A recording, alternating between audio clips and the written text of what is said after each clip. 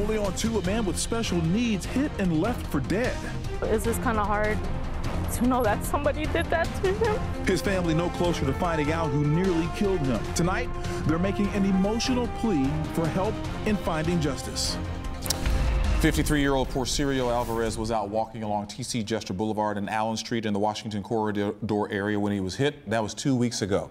Thank you for joining us. I'm Keith Garvin. Good evening. I'm Daniela Guzman. Tonight, Alvarez's family is speaking only with KPRC 2's Gage Goulding tonight with hopes somebody might have a clue. Gage? Yeah, his name is Porfirio Alvarez, and his family tells me the only thing that he has done wrong in his 53 years of life is believing that there are no bad people out in the world. He has an intellectual disability, and one of his favorite things to do is walk these very streets in the neighborhood he lives in and pick up cans to recycle. It's his hobby. He was doing just that the night he was nearly killed. Everybody knows him in the neighborhood. Everybody knows that he collects cans. Porfirio Alvarez, it's his hobby. The extra pocket change he gets from taking his haul to the scrapyard stretches a smile a mile across his face. Most people around these parts help him out, but he doesn't realize that not everyone is this kind. Someone who's autistic, it's very hard to tell him, hey, understand that.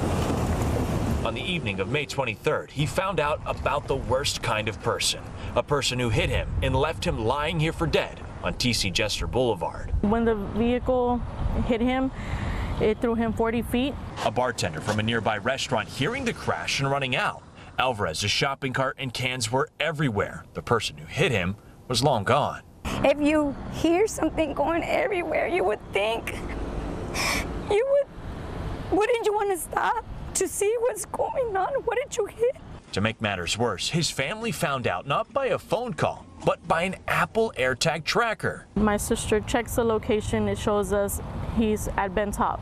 Alvarez is alive. He's still in the hospital with a laundry list of broken bones. The accident leaving doctors with no other choice but to remove a kidney and his spleen. To this day, he's still intubated, and the reality is a recovery isn't promising. It's a long road. If he survives, it's a long road to recovery. We're just asking for anyone that knows any information or if you did it, just come forward. That's all we ask for justice.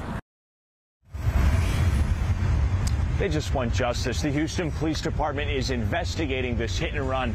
Unfortunately, they do not have any concrete evidence at this time to even provide a vehicle description. Investigators and Alvarez's family, they are both asking anybody that saw something, maybe has a neighbor that has some damage to the front of their car, something that just seems weird, pick up the phone and call Crime Stoppers. I'm live in the Washington corridor. Gage Goulding, KPRC 2 News. All right, Gage, thank you. The